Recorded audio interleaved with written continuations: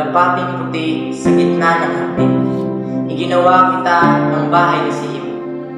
May dalawang latang palay at inumin. Saka walong pinto sa apat na dingding.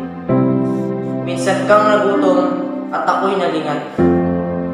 O kalapati ko, bigla kang lumipad. Sa nagdaang kawan, sumama ka agad. Ayaw mong mabasa ng luha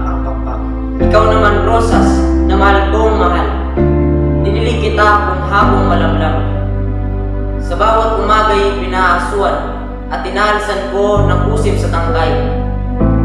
Minsan lang, Nobyembre nang di ka mamasin, nakaligtaan kong dinigin kang saglit.